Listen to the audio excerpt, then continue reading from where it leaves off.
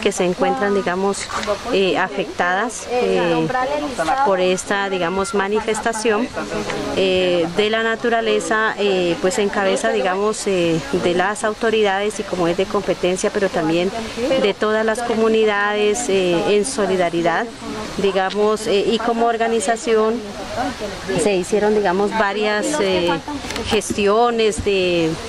de que la comunidad colabore, de que la misma organización colabore. Por ejemplo, hemos logrado recoger eh, así de a poquito, de a poquito, de una libra de arroz, de una, de una papa, en fin, todo lo, que tiene que ver con, con el mercado, el tema de la ropa, el tema de las cobijas, etcétera. Eh, la comunidad ha sido, las comunidades han sido muy solidarias frente a este, a esta situación que está viviendo, digamos, el municipio de Corinto y las familias.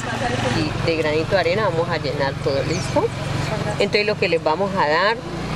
es, como te digo, no es de la alcaldía, es del cabildo que ha llegado, que hemos recogido de todas las comunidades que están mandando, están mandando la CIN, el CRIC, diferentes pues gentes donde la AIC también tenía sus contrataciones, entonces de eso se les sacó pues su paquete para darles. Em, de todas maneras, el censo, todo el mundo lo está recogiendo, lo está recogiendo la alcaldía, los organismos de socorro, lo está recogiendo la misma organización indígena, bueno, diferentes gentes a los que pues hoy quieren ayudar y a contribuir pues con la causa que ha pasado por acá, ¿no? Entonces esperemos que lo que nosotros traemos pues ayude a amortiguar con algo, ¿sí?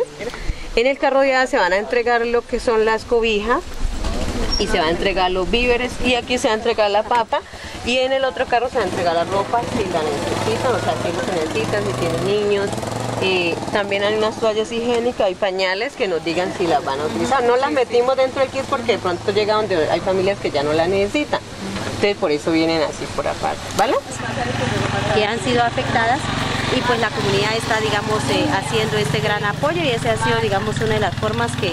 eh, digamos, el Cabildo ha, coordinado y eh, pues está, digamos, haciendo la, la, recolección y de ahí pues se organiza y se está directamente a las familias afectadas para entregarles, digamos, el poquito de apoyo que ha, digamos, se ha recogido, ¿no? Entonces, bueno, vamos a mirar quiénes son los que han, digamos, hecho los diferentes aportes. Entonces, la misma organización, em, el Consejo Regional Indígena, que es el CRI, la misma Chambuala Kiwe, eh, los dinamizadores eh, del Plan de Vida Chachahuala. Bueno, todo el mundo está, digamos, en este, eh, en este ejercicio de solidaridad a las familias que, pues, digamos, han sido afectadas